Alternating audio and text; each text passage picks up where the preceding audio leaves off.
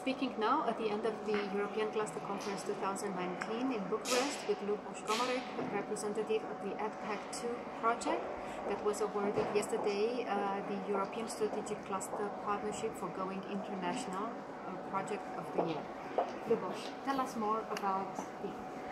activities and uh, let us get an insight, uh, a feeling inside uh, a successful partnership. Yeah, uh, I think the main key of the success was that we were collaborating together already for four years before, and uh, we are we are also collaborating with other partnerships, and we understood that the companies they really need the support of the internationalization because by themselves they don't have time, not resources to do this. So we are we are the facilitators of this process, all of us, all the partnerships, and currently we are bringing 18 companies to Canadian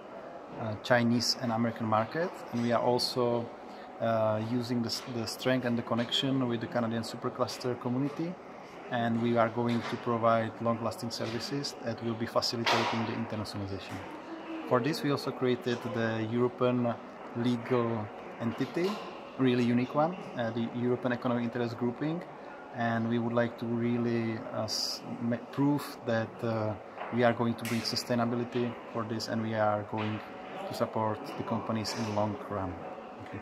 Thank you very much.